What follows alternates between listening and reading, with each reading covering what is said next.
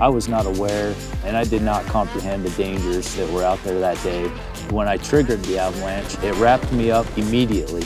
Not a second later, I was hit in the back with what felt like a truck. I didn't even have a chance. I ended up laying there in the snow with two broken femurs and my broken left arm for between seven and eight hours. I've had a total of four surgeries, still in therapy three days a week, trying to learn how to walk again and get use of my body again.